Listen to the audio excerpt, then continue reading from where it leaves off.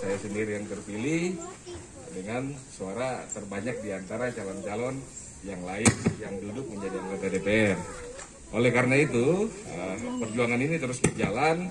Eh, Partai Golkar menempatkan saya sebagai Wakil Ketua Komisi 3 di DPR eh, Provinsi yang membidangi infrastruktur dan pertambangan. Jadi walaupun saya basicnya apa pun komisi saya infrastruktur dan pertambangan, tapi ketika reses semua kita bahas. Saya bisa dibilang sisi kiri kanan politisi, Pak.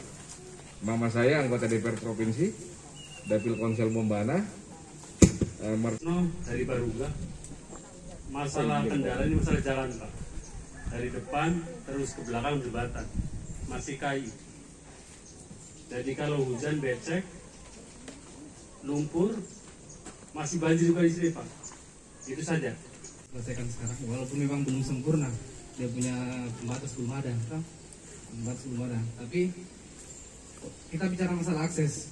Di sini kan memang kita ini tidak punya lingkungan ini pak dikelilingi sama sungai kali toh ada dua satu di depan yang besar kemudian ini yang di belakang. Kita ini yang kecil. Ini aliran dia kecil. Nah pada tahun 2013 lalu kita di sini itu pak eh, salah satu wilayah yang kena dampak banjir besar kemarin pak ya selanjut eh, itu kira kemarin eh, mertua saya, mertua perempuan saya anggota DPR Kota, Pak. Dari Dapil apa eh, Abeli, Ibu Rusewati Abu Nawas. Ya, mertua laki-laki saya mantan wagub, wakilnya Pak Limasi Prode Pertama bisa segera kita bantu terakomodir. Mungkin itu saja dari saya. Saya persilakan kembali kepada moderator. Ya. Merekomendasikan ke BLK Bada, apa balai latihan kerja. Itu dia hampir setiap dua bulan tiga bulan buka.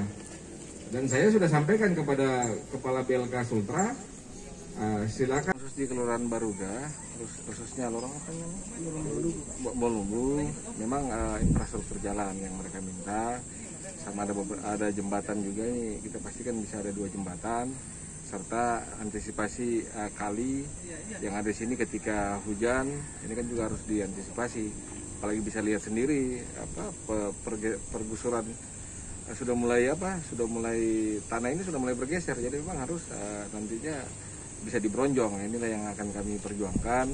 Nanti tinggal di eh, apa eh, dikomunikasikan dengan dinas terkait biar ini bisa masuk dalam eh, 2022 PBD 2022